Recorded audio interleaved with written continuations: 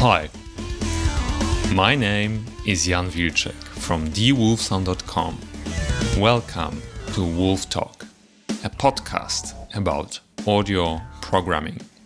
In this podcast, you will learn how to build your career in programming or research related to audio, meet programmers and researchers from all around the world, and learn about the intricacies of sound. Hi everyone, this is Jan Wilczek from thewolfsound.com and welcome to the sixth episode of the Wolf Talk podcast.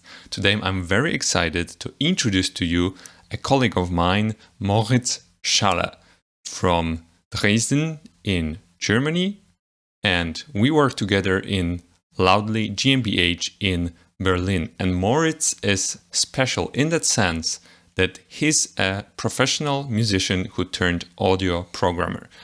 I don't want to spoil his story, but I know that among those of you listening, there are a lot of musicians who are considering whether to change their career path or not. And I hope that Moritz will be able to provide you with some inspiration and some tips in that regard. And if you consider becoming an audio programmer and you're not sure where to start or what you need to learn, I have a resource just for you. It's my ultimate audio plugin developer checklist. It's a checklist that lists every bit of knowledge that is needed to become an audio programmer. And you can get it for free under thewolfsound.com slash checklist. Once again, thewolfsound.com slash checklist, ultimate audio plugin developer checklist. And now I just want to tell you that the episode notes, so all the people, places, and things mentioned in this podcast episode can be found under wolfsound.com slash talk 006. And now, let's begin. Hi, Moritz. I'm very happy to have you on the podcast. Thanks for agreeing on this interview. Could you introduce yourself to the audience? Yes, indeed, I can. Hi. Uh, I'm Moritz Schaller. I am a musician by trade, and I recently uh, switched to another career path and became a software engineer, which is uh, how I met Jan because we were working at the same company together. It's a uh, audio music tech startup. Yeah, and I think uh, Jan was very interested in uh, letting me share my my story here. So I'm happy to be sharing something. Yeah, exactly. I must say that I find your story very inspiring. I don't want to give too much away at this moment, but I think your story uh, will also be inspiring for a lot of other people, uh, especially musicians who are considering transitioning to a new career and well, I know that there are a lot of a lot of musicians who want would like to get into audio development. So you mentioned that you are a musician by training, and uh, there's something that I wanted to ask you. So at the very beginning, uh, how did you develop this interest in playing a musical instrument? Um, so uh, I've been playing music for as long as I can remember, basically. Um, I I was I had the the luck of and the privilege of being born into a family with uh, arts all around. My mother uh, studied music herself, then became an actress. My father is uh, an author, and so they they uh, saw to it that uh, I, I got lessons on the piano really early. I started playing the piano when uh, I was six, I guess, like right when I started school. Awesome. Actually, actually, that's that's uh, exactly as as me. So, like, I also started at six. that's uh, cool. That's I, I, didn't know that. Yeah. And how did it develop from there? Okay. Uh, yeah, basically, I I was partly interested in it, and and I kept like practicing every day a bit, also because just routine and um, uh, and and also other people like, like telling me, hey, please go practice your one hour per day uh, because that's just what you have to do. And accepted that back back then uh, until about I think 10th grade when when I was really fed up with it. Uh, and I said, I want to stop. and that was I think that was the moment when I really took it into my own hands. Um, and after that, I I probably uh, didn't touch the piano for half a year, and then I started mm, maybe maybe I could, and I started improvising a bit. Before I had classical training, um, yeah, and I started improvising, and then I heard some some tune I don't know what uh, with a saxophone in it, and I had this idea, yeah, maybe I should learn the saxophone, and so I did, yeah. Um, and uh, do you know maybe if uh, someone uh, wants to play saxophone? Because as if i remember well like you cannot play saxophone when you are very young right? Like because because of the lungs right? The lungs are not developed is it correct yeah, there's multiple things you just have to be big enough to hold the instrument because yeah that's true that's it's, kind of large and um, and heavy uh, I'm not sure about the lungs, to be honest. I should know because I actually have a, a, permit to teach. So um, yeah, I can't don't know from the top of my head. So okay, so I would think that that maybe if like little children cannot play saxophone but want to, then maybe they can also start with the piano. But definitely, it's a great, great background. And then. Uh, was it then that you started learning saxophone? Yeah, that was uh, like at how old was it? In like 16, 17 maybe. So quite late actually. Um, and but I, I really enjoyed it and I decided to do it myself. Uh, I, I, myself decided that I want to do it, mm-hmm. and uh, I uh, quickly got to meet some people from the from the uh, music college, and uh, yeah, basically was had a, a, teacher who was also a student at the college, and yeah, so that was worked out very well for me. But at the same time, I was uh, mainly uh, aiming to become a scientist actually because I was on a I was on a special school for mathematics and science uh, and then I went to study physics. That's what I started out with, and I just did the saxophone thing on the side. But then I, I kind of, uh, yeah, I, I was very heartbroken at some uh, time in my life and uh, had to rethink everything basically. Uh, which is when I decided I don't want to become a physicist, I want to become a musician. Didn't finish the physics thing. Uh, and yeah, went went to Berlin to um, to train for the entrance examinations for the for studying music. That I did for two years, and that was an awesome time because I uh, basically spent all day with other people who also wanted to become mm-hmm. musicians mm-hmm. and was learning all the time. And yeah, and then I got accepted. Uh, uh, to Leipzig uh, Music College, which is one of the three uh, well, I'd say most desirable places to study music here in Germany, which is Berlin, Cologne, and, and Leipzig. Yeah, and that is uh, where I really noticed hey, I am really late to the party. people um, have been doing this for many more years than me, and I had to, um, yeah, to either do a lot of work and uh, and get, get to the same level or find other ways to excel and yeah. so which path did you choose? I think i took a middle path. Okay. Like, like for, for me um, in science if you want to get good at it you have to be very good at understanding stuff and i definitely am very good at quickly uh, understanding things but in music there's just you have to uh, to do the work. You have to do the wood chopping. Um, and i got better at the wood chopping part like practicing your scales and, and doing it every day. Um, but i definitely always took the, the shorter routes if possible. So i was always optimizing my ways to practice and yeah so that that never really got uh, completely um, solved for me. And also, I mean, um, like there's uh, there's other musicians who are uh, like way more uh, capable on their instruments than me. Um, obviously, but that's I guess that's something that you always have as a musician. There's always someone who's younger and better and. yeah, that's. Uh, I think.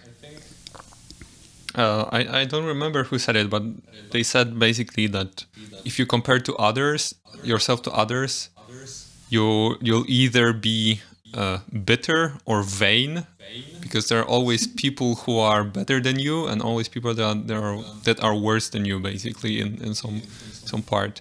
But then uh, i think the author the author of the dilbert comics so he said that he's he's not a great comedian he's not a great um, artist in, in in drawing but uh, but he can combine these skills to create something unique and i think that's something that, that you did so uh, you already traveled quite far because you come from dresden right, right. then you went to Ber berlin for one year and then you went to leipzig and then there you studied for five years is it correct uh, I think all in all, I kind of studied for six years on my bachelor's. Uh, and but that involved uh, like four years studying there and then um, moving to Berlin already. Oh, okay. And uh, and, and pushing my my exams. yeah. Okay. Okay. Yeah. I I get it. Uh, I, I, think you're not the, the only one that does this. No, no, that was the standard operating procedure uh, uh, in this place. That you wanted to stay in the in the um, HMT Leipzig, the, the school, for as long as you can, because that's how long you can actually uh, go there, get a room to rehearse or to practice, or so. So there's a lot of um, uh, benefits from that, from from still being a student. Yeah, that's that's true. That's true. Also, in the research world, you get access to uh, a lot of online journals mm-hmm. and the library, which after after graduating you don't anymore. That's what I have to learn uh, now the hard way, really, because uh, in in my work at Loudly now, I sometimes have to look up uh, research papers, and often I find ah, there's a paywall. Thank you. exactly, exactly sign with sign in with your uh, institution account institutional account. Okay so now you you completed the, the music studies and like what was your next step from there? Okay so my next step was i obviously i uh, i was studying jazz music so there was really not a lot of opportunity to to actually get employment uh, as a, like a, um, to not be self-employed, but really you have to work freelance, and that's what I did. So I uh, did some playing. I did some uh, writing music for theater plays. Uh, I did music production and uh, but still like the music industry is really uh, it's crazy how little money is in there. And now that i am in the it world i have another new perspective on how little money that actually is that is in that business. Um, so yeah so i had a, a day job um, at a like part-time at a, a music retailer where they would uh, uh, like sell equipment and instruments and everything. And I was, um, yeah, in in the office and. Uh, if there's a new cable, I would make pictures and put them online so that people can buy it and uh, stuff like this. So it was a very boring day job, uh, really, and I got kind of depressed uh, doing it. And then, then the pandemic came around, and I was like, okay, now definitely the, the, the music thing is not going to bring any money in. So I have to look for other opportunities and remember other stuff that I know.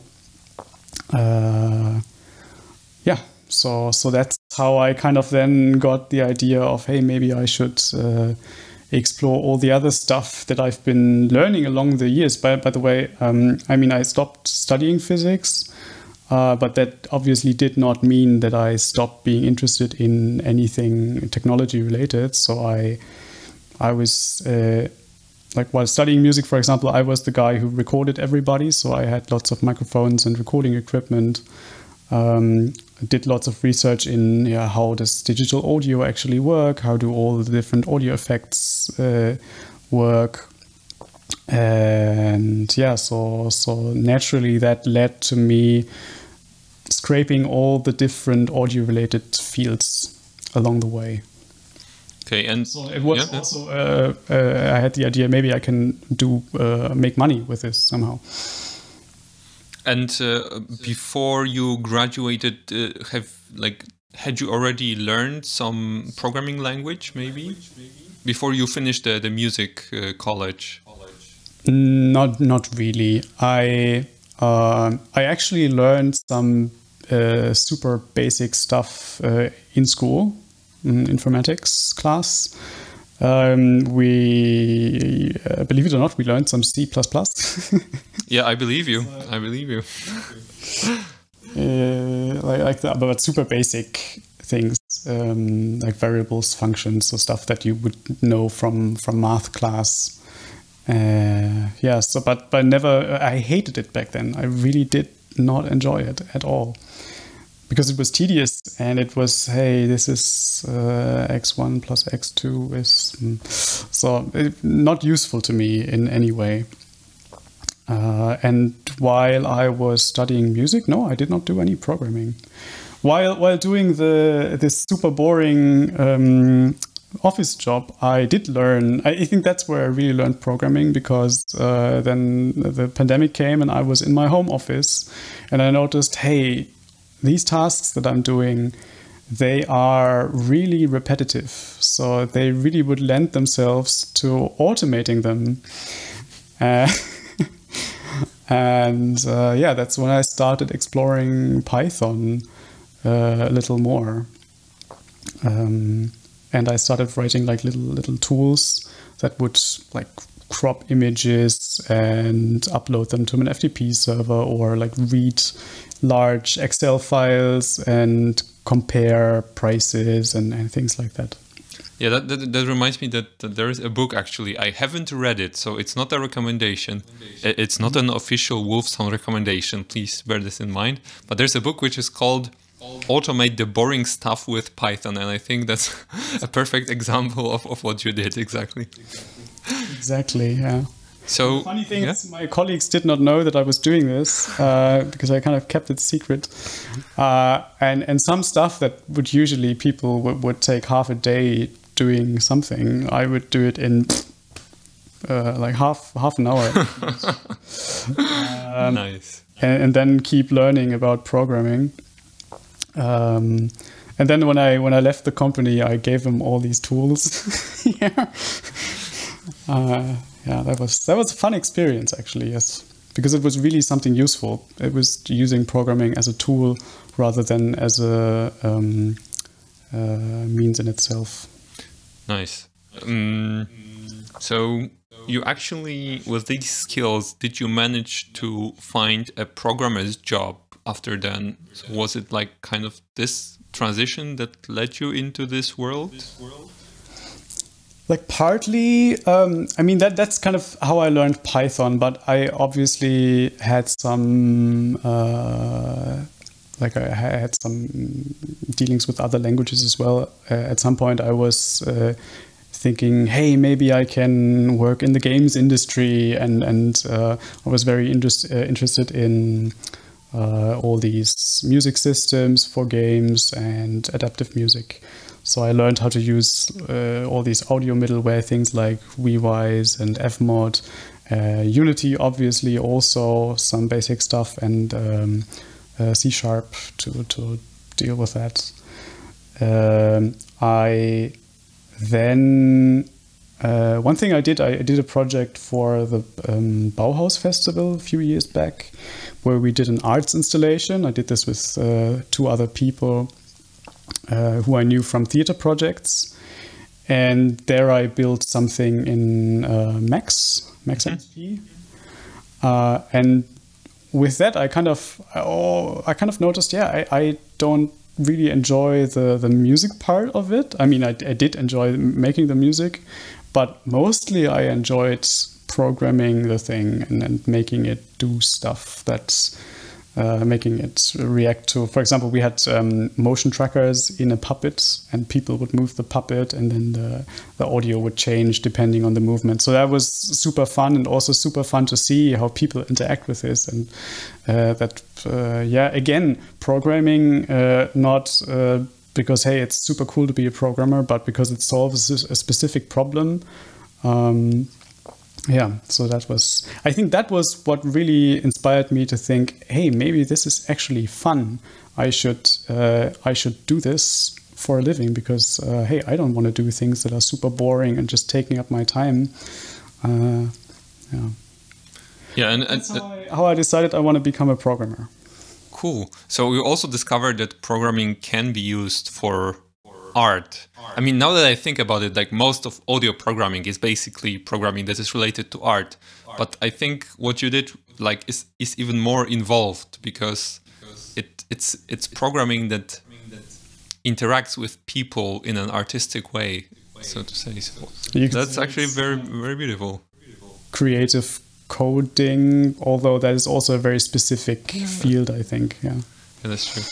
So then uh, your adventure started to find a programmer's job, maybe? Maybe. Yeah. Um, I actually I was not. Uh, um, or actually, yes, I did. Uh, uh, I did uh, apply for jobs that had some programming. I, I for example, applied at Native Instruments uh, uh, because I thought, yeah, pff, QA automation. That's something I can do, and they never, or they replied half a year later, yeah, oh, we just found your application. It looks very nice, but the position is uh, already taken months ago. Um, yeah, and then then I kind of thought, yeah, maybe I'm just not not at that point yet, and I applied um, at Loudly just out of the blue. Basically, I saw it on LinkedIn, I think, um, and I applied as a music producer. Oh.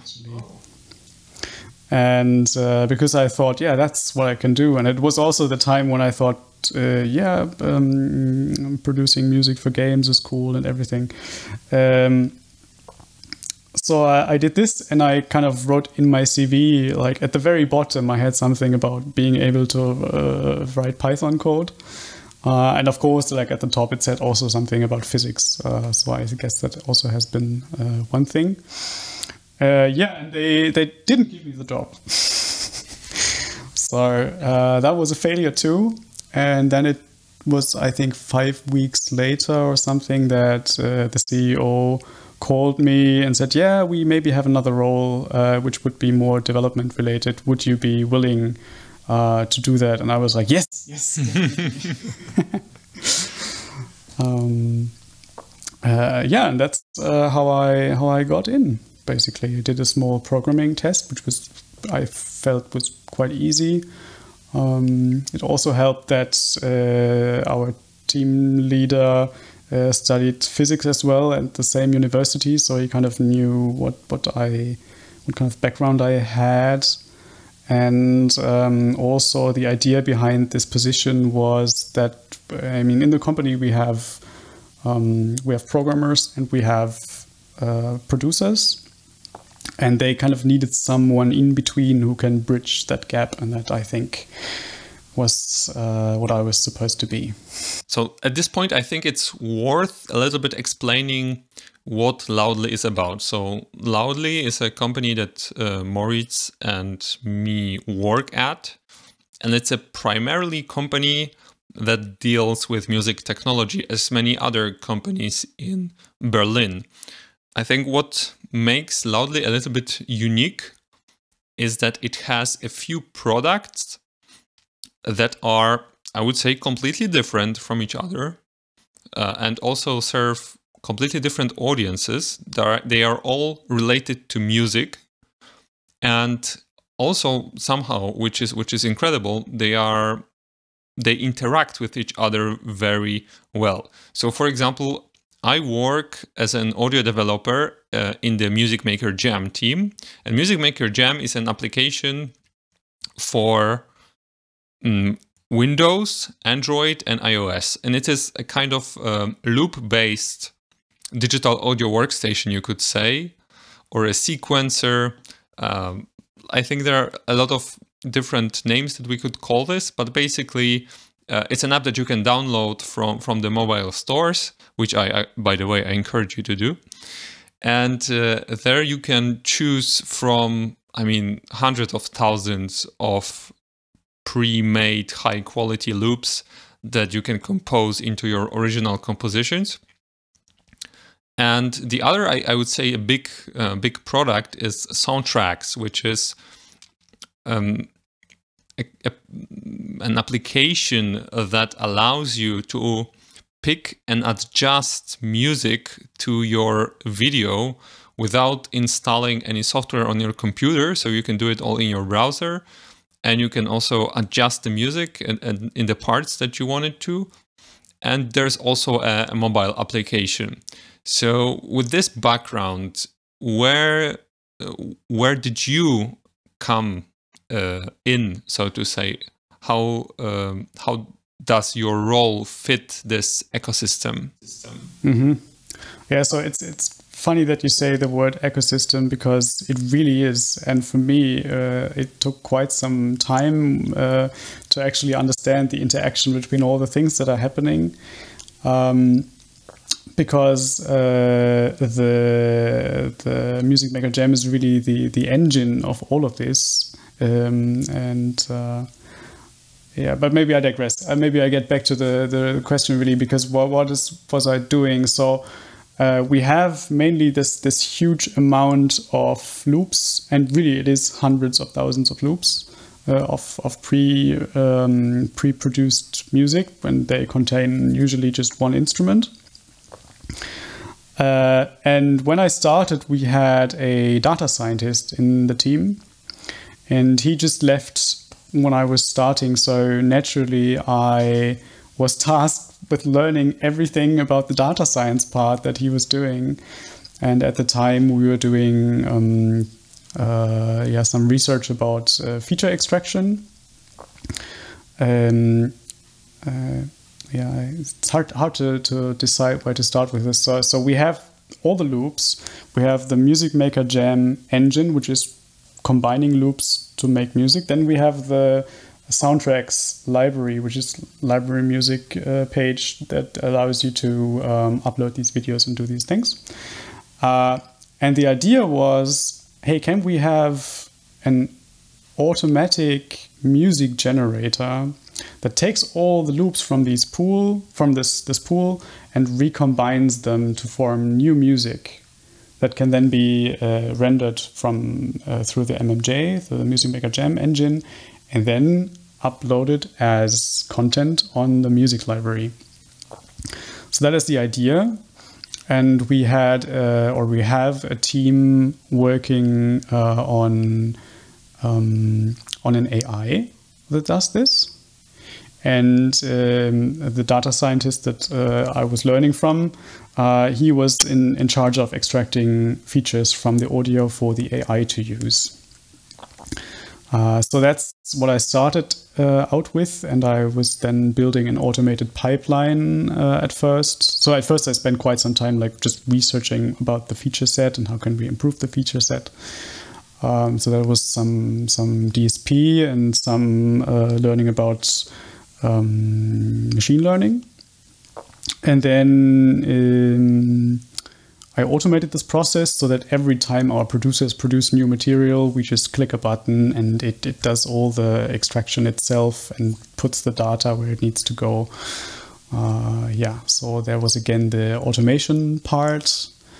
Um, yeah, and then we decided, yeah, the AI gives quite cool results, but it's sometimes uh, it's kind of skewed. It has some things that it does really well, some things that are uh, uh, worth improving, and so we thought, hey, maybe we can add more of a rule-based approach. So then I was uh, soon tasked with uh, writing a rule-based um, music generator, and that turned out like uh, really, really well. I, I um, had a close collaboration with one of our music producers who was very tech savvy.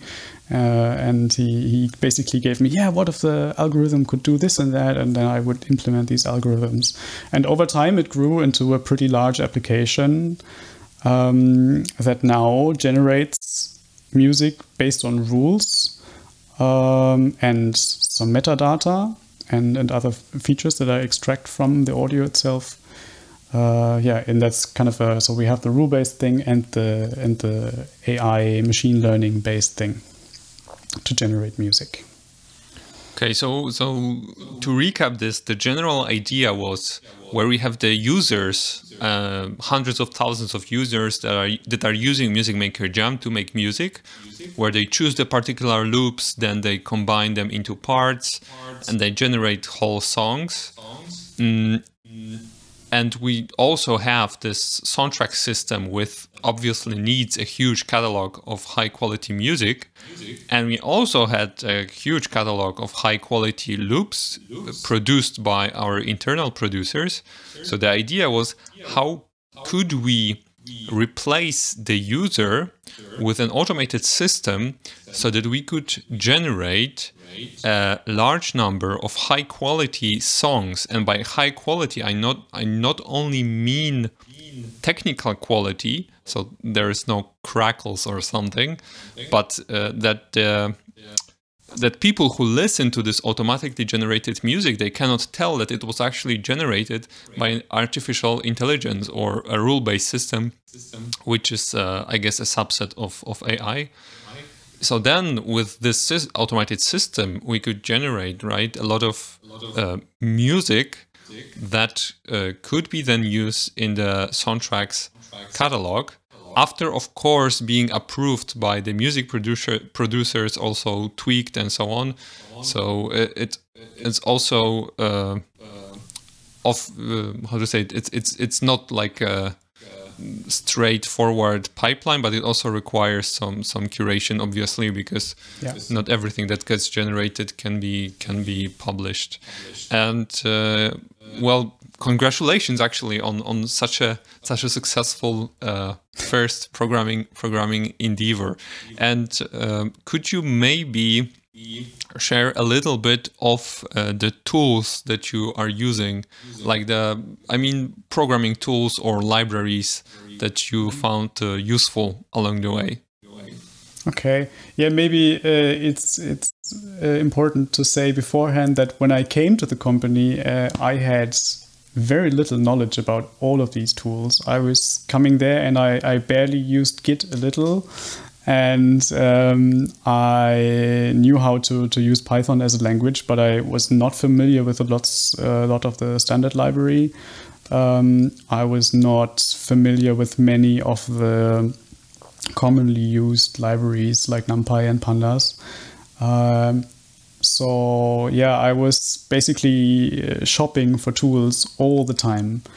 Um, and mainly I tend to use uh, Librosa for most of the um, of the DSP stuff. Some DSP I just implement myself with NumPy because NumPy is obviously much much faster than uh, writing uh, things in Python uh, in native Python.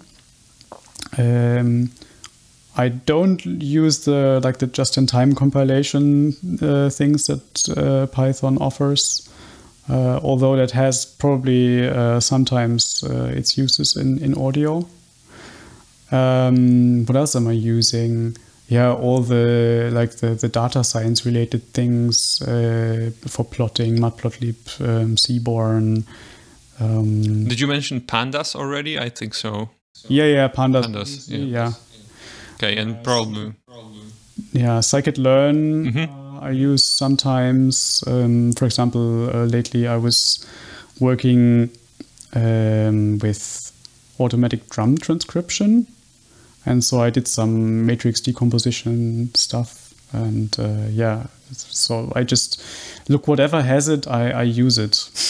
Okay. And yeah, and then then I also at some point I, I, I had to kind of deliver this this code or make it usable for people. So I had to also see how do I do that, and that then led me down the path of uh, learning how to build an API. So I'm using FastAPI a lot um, to to uh, provide my work to the producers. I use Flask sometimes. Um, uh, what else? I yeah also li- like writing just little desktop um, GUI things with Tkinter. um, yeah. And uh, did you also mention like which library do you use for uh, machine learning? I mean, you mentioned some, but is there like some of yeah, the yeah. deep learning maybe libraries that you use as well? I mean, I don't use machine learning very often, to be honest, okay. Uh, because I'm a very algorithmic thinker. Um, but I do use TensorFlow from time to time. Okay. Nice. Um, although I don't really like the way that it is structured, but yeah. yeah PyTorch all the way. uh, yeah, I, I, I had very good experience with PyTorch, and and I can highly highly recommend it. Uh, so if you'd like to try it, then. yeah, Go on. I haven't looked into PyTorch uh, a lot, but that's definitely on my list. Yes. okay, so could you maybe tell how does your music background help you in your day-to-day programming duties? Hmm. Um, so I, I think what made this uh, music generator project so successful is the the small feedback loops that we had. So I work very closely with Felipe, one of our producers, and uh, so that means we have to communicate uh, all the time. And since we are both musicians, we just we have the same vocabulary. Uh, so if he says, "Yeah, there's," uh, I hear some clashing. It should be uh, Lydian mode, but it's Ionian, and it's just not working. Then I know what's what's the problem. Um, or I think uh, part of, of learning to or becoming a musician is training passive skills, so listening mostly. Uh, being able to listen something and identify what is that, what is, uh, and also listening and finding out what is the problem here. Okay, maybe this intonation is off or something is something too low or too high?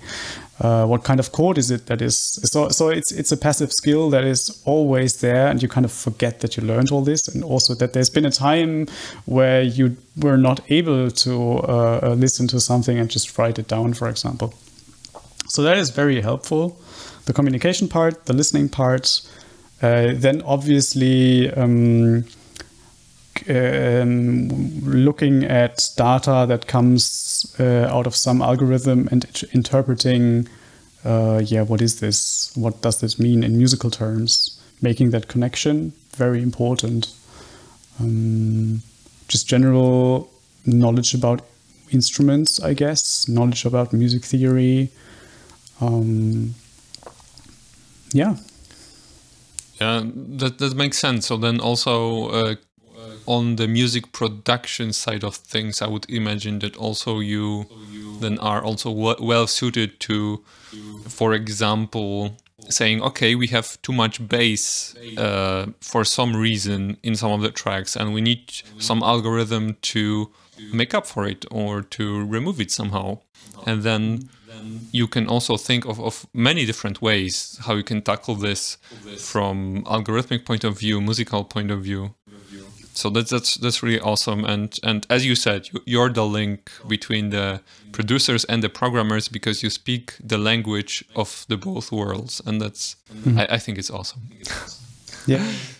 I think i, I read this um, uh, this term uh, t-shaped uh, people or uh, so, so there is I-shaped people who, who excel at one thing, and then there's uh, a T-shaped people who also excel at one thing, but they they also have some really broad knowledge mm-hmm. across multiple um, multiple areas. And I think I am kind of like this, and and I've always seen this as a two-edged sword because it means, yeah, I'm not super amazing at that one thing that I am kind of well skilled at Uh, but I'm also I have a lot of things that I looked into for some time, and then uh, yeah, got kind of okay at it, but but never great. So that's that's also frustrating because I'm not excelling at these things very much.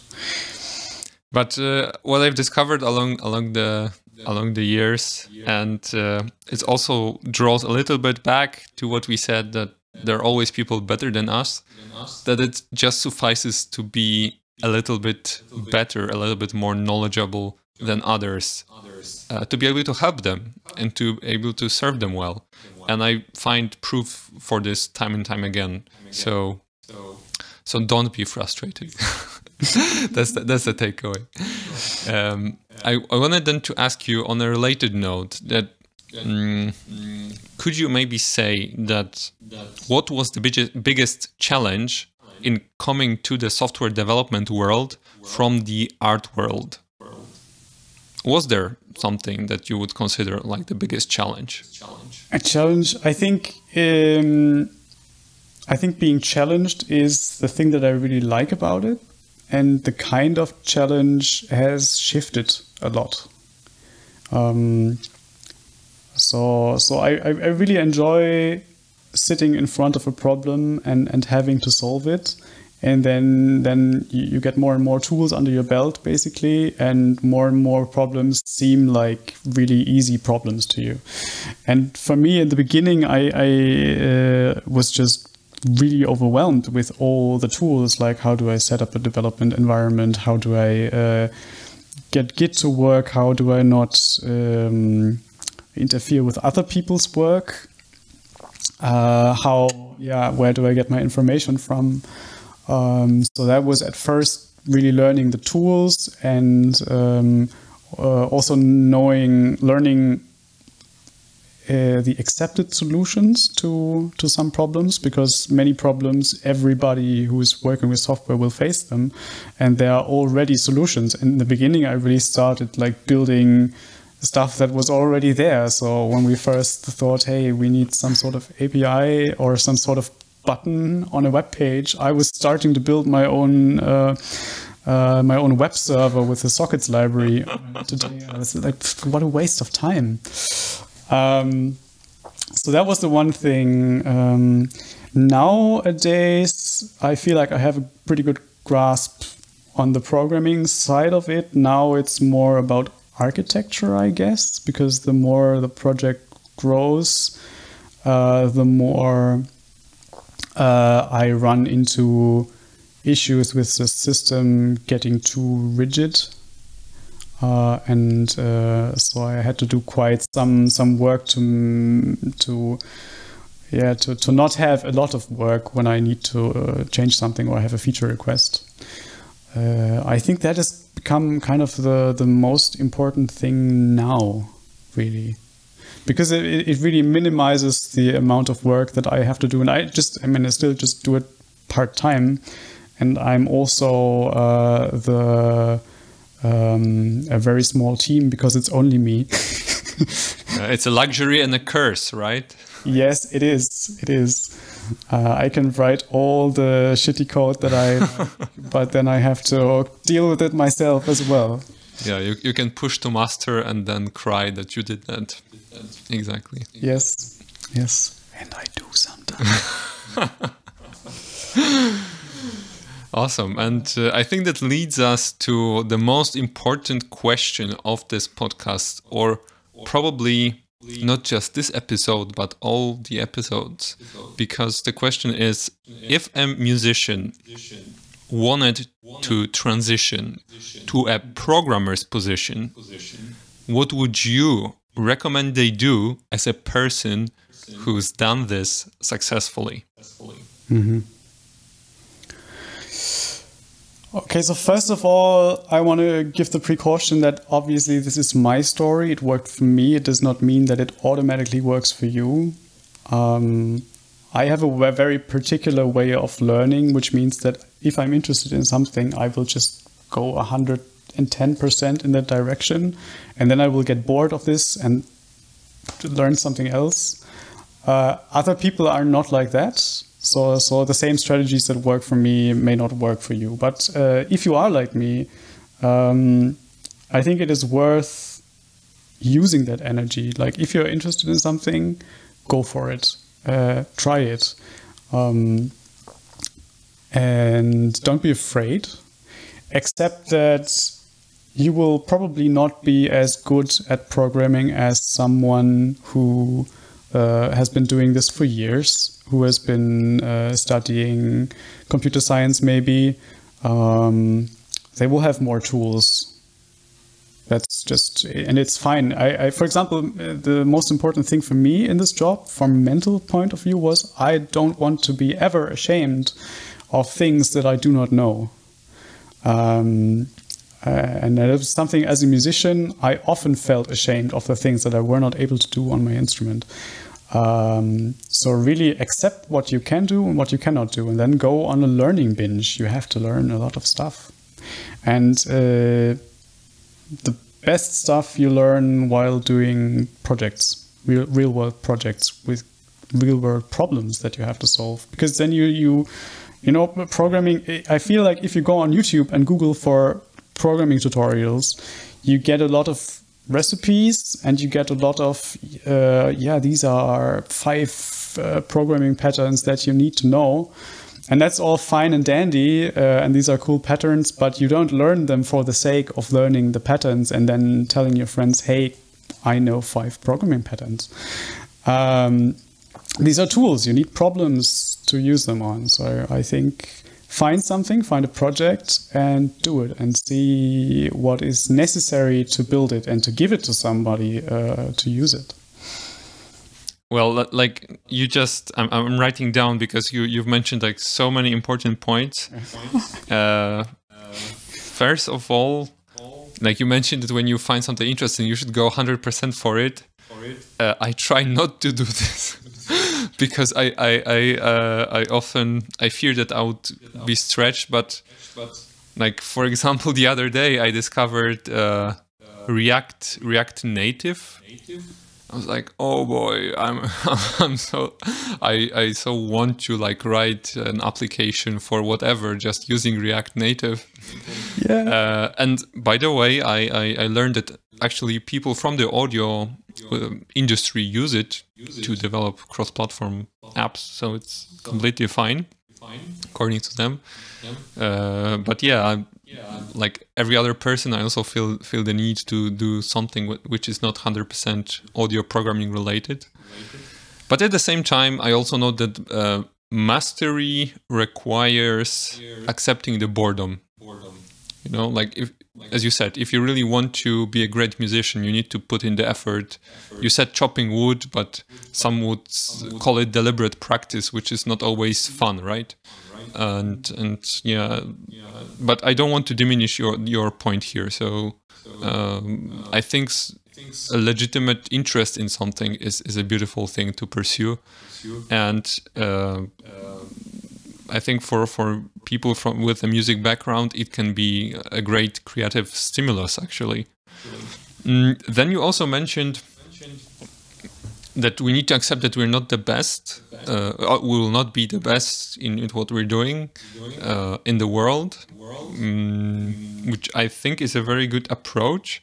But also, what I noticed uh, that a lot of the time people who are really good at something like really the best in, in, in among their peers they are, they are very hard to collaborate with mm-hmm. and maybe because of the ego maybe because of some other other stuff and then in business i feel that I, I mean even even in music like you cannot achieve much when you cannot collaborate with other people, other people. because you can only do so much on your own and um, i think when you combine decent skills with great collaboration skills and collaboration skills can be learned then you are set up for success then you also mentioned to do real world projects, and I completely agree. I, ju- I just wanted to say that I, that I agree because uh, it's.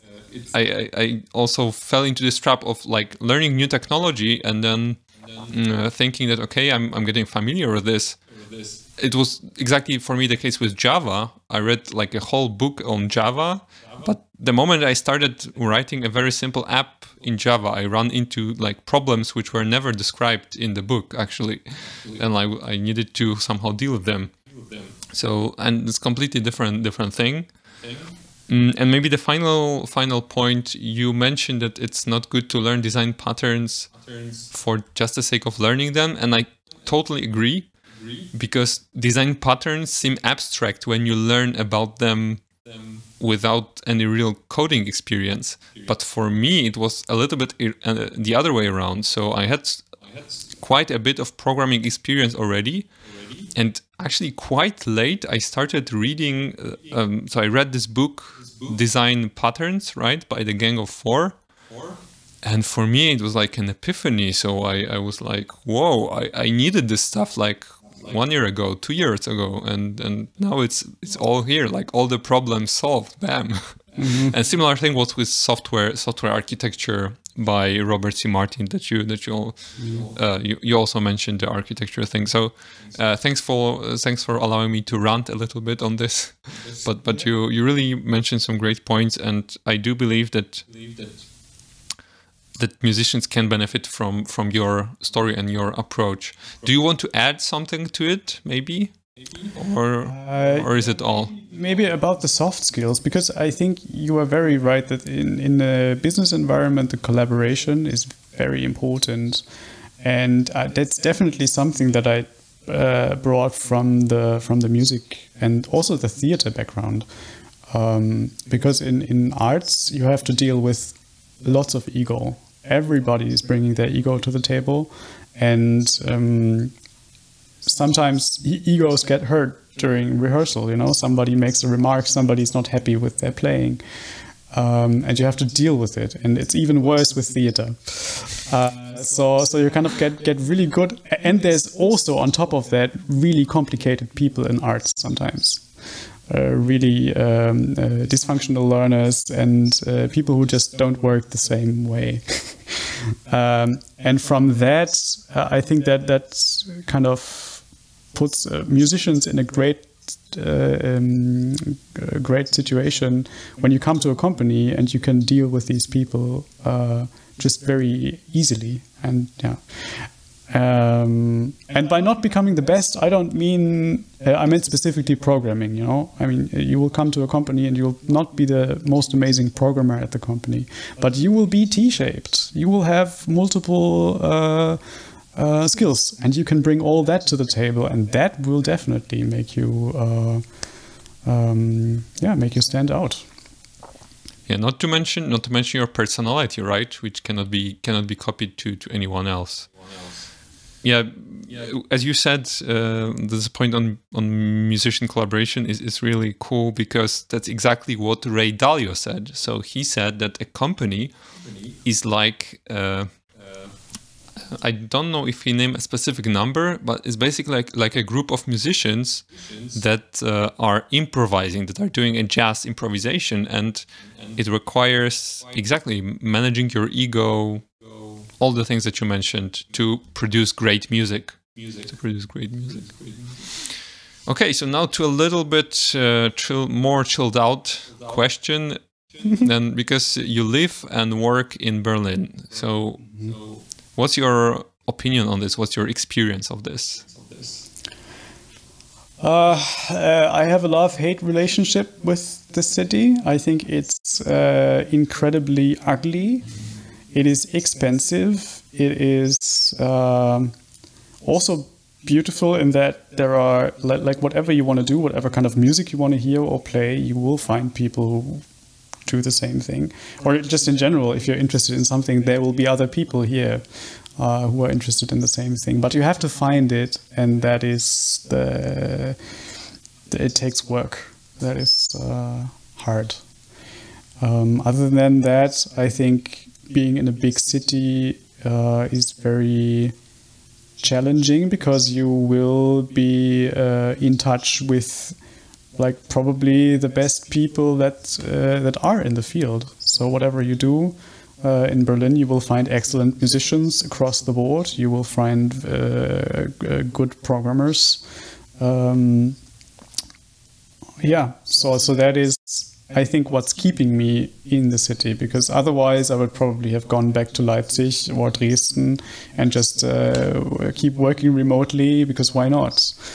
Um, but uh, yeah, then I, I feel I would not have the the human interaction that sometimes happen here. Awesome. And exactly the other day we discussed that uh, Berlin is an incredibly flat city but still there's a huge group apparently of bouldering enthusiasts so it's actually it is possible to find everyone mm-hmm. whatever you're interested in.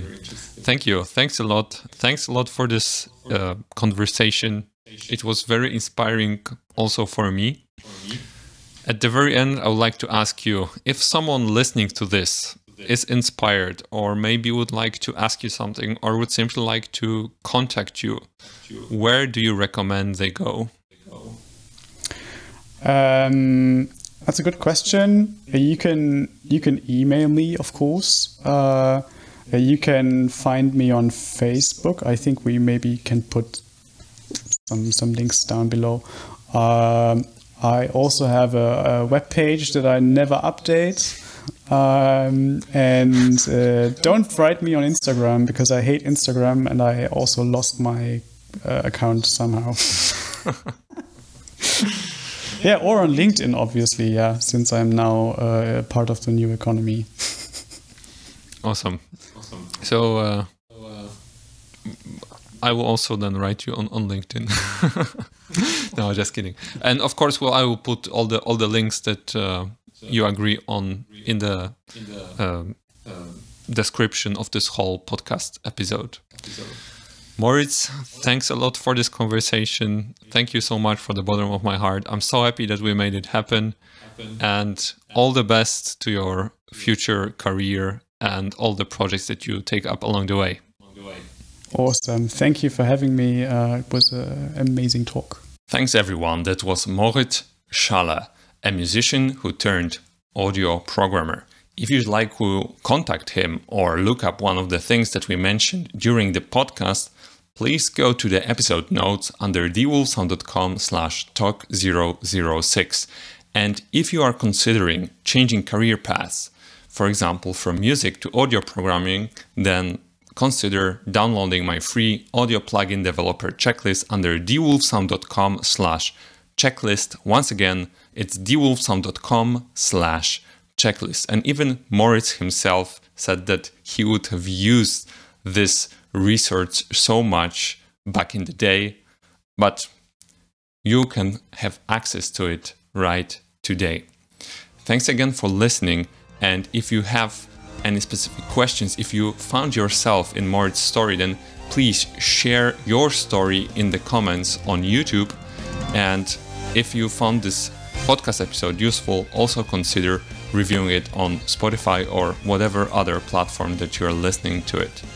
Thanks again for listening and see you in the next episode. Take care.